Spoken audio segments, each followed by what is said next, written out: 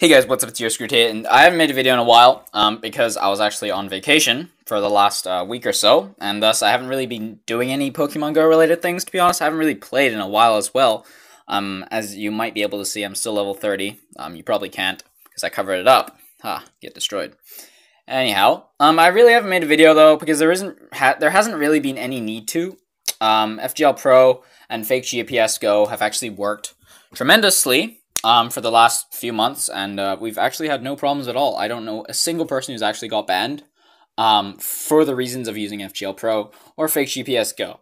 So today I'm just going to be showing the new guys. Um, so if you if you already use these apps, I mean just follow along. I guess if if you don't know um, if you don't know um, the exact way to actually use these apps, just follow along the video. But mainly this is for the new people who are trying to spoof still and kind of figure it out. So one of the things you want to know um, before actually spoofing is that not every single person can spoof. Now, I'll be going over a few some some of the device requirements. I can't speak for some reason. Um, to actually spoof in Pokemon Go. So, the number one requirement is you must be above 5.2 or equal to 5.2, and this is the Android version I'm referring to, not your device version or whatever.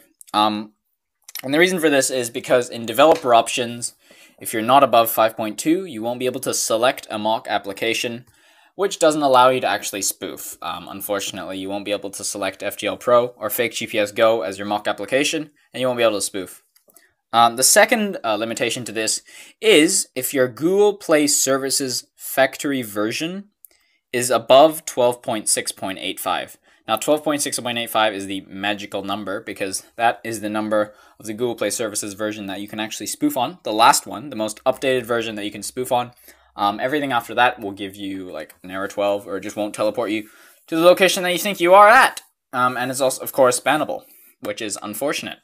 Um, so the only way to actually spoof in Pokemon Go is if you have a phone that can downgrade either below 12.6.85 or to 12.6.85. Um, I highly recommend testing this out before actually like going ham. Just be like, dude, you're screwed. Why can't I spoof, dude? Hello? Like I've been, I've literally followed every single thing in your video, but my Android security version is October 18th, and I can't downgrade past 12.8.76. What am I supposed to do? Um, yeah, I highly recommend realizing that you can't actually spoof, and unfortunately, you'll have to get a new phone. Or you can, of course, you can root the phone. Um, referring to my massively disliked previous video, which was insane, by the way. It was actually kind of hilarious how the dislike ratio had like 1 to 4. Anyhow, um, moving along. So those are the two limitations to spoofing, actually. Um, the device version can't be below 5.2, or can't be, yeah, can't be below 5.2, and um, that you must be able to downgrade to 12.6.85. Because if you can't downgrade to 12.6.85, you won't be able to, um, you won't be able to spoof without Pokemon Go detecting that you're using a third-party app, which is annoying, um, because Android's cracking down. Anyway, um, okay, so we're going to get into the, the two apps that I use um, sometimes. I mean, I use FGL Pro most of the time. I use Fake GPS Go when I'm just kind of bored with FGL Pro and just want to mix things up a bit. I mean, they both work perfectly fine. Um, I don't know a single person who's had has who's had any problems with them that I know of, as in like directly gotten banned because they use a third party app. So if as long as you do this safely, um, I can't guarantee, but there's a really really low chance that you'll actually have any consequences regarding your account. So FGL Pro. Now, I'll show you guys where it is. It's just it's just over here. There it is. FGL Pro. Wow, we did it. Looking at looking at nice. Um, you just download it from the Google Play Store. Really simple. Just type in FGL Pro. Download it. Now, um, one of the things I like to do is I like to tweak the settings before actually going in. So uh, secure mocking, you want that on. Mocking method, I put at one for some reason. Uh, test all the mocking methods before actually telling me that didn't work because you know for some reason most people don't do that, and then they just get pissed. And then I tell them to change their version, and they're like, oh, oh shit, it worked. Anyhow, autofix mock location, you can have this on or off. It doesn't really matter. Um, some people find autofix off better. Some people find it on better. So test it out. If it doesn't work one way, try the other way. If it doesn't work the other way, try the other way. Indirect mocking, you want that off. Um, I don't remember why. There's probably a specific reason for this. Just keep it off. Don't need it. Joystick, obviously you want that on, and then gaming security settings. Um, I actually have a, a, bunch of these on. The reason I have these on is because um, what this does is also simulates your altitude, which is pretty insane because um, like I assume one of the ways they actually ban accounts off of Pokemon Go is if they if they look at your altitude and you're walking in a straight you're walking at the same altitude wherever you go in like a really hilly place, they'll just be like, yeah, this guy's obviously spoofing because there's no possible way he's literally walking on a flat surface when he's going up a hill, supposedly, in, in the place he's spoofing at. So I highly recommend actually keeping all of those options on. To basically just copy my setup. Um, if you copy my setup, you'll be completely fine.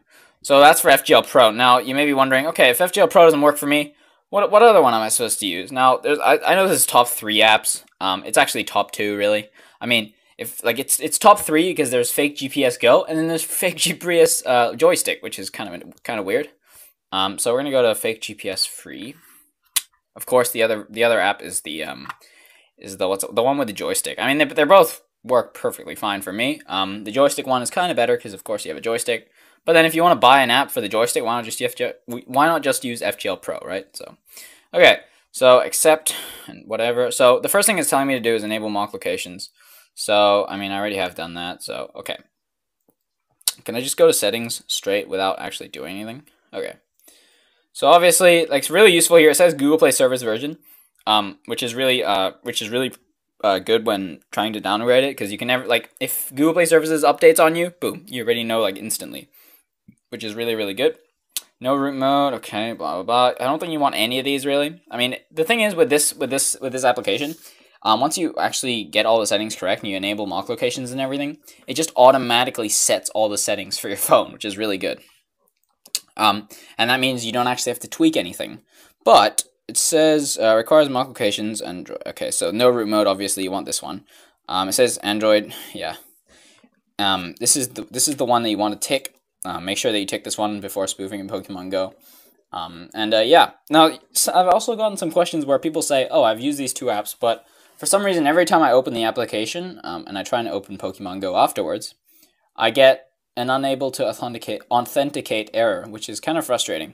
So the the advice I have for this is actually to open Pokemon Go and then open the spoof app, um, which is something I do sometimes, but not really. I usually open just just open the spoof app and then just go straight to Pokemon Go. But for some people, it doesn't work. So I highly recommend actually just opening Pokemon Go, making sure you load into the game, um, and then doing it. If it still doesn't work, of course, just clear cache, clear data, reinstall, do whatever you got to do. Just maybe just turn your phone off, turn it back on. It doesn't matter. One of them is bound to work. And uh, yeah, those are basically um, the two applications that I would use.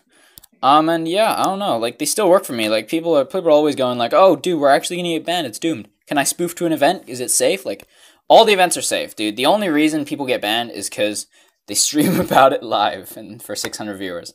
Anyway, thanks for watching the video. Um, I don't really know what this video was for. Um, I didn't have a purpose in mind, really. But before I leave, I want to actually go over my sponsor. Uh, let's just let's let's just make this really uh, let's make this let's make this very very awkward. So we're gonna go to Google. We're actually going to Google this. www dot buy Pokemon Go accounts. Uh, wait, buy Pokemon let's go accounts. dot com. Nice. Very like did you like that transition? I did as well.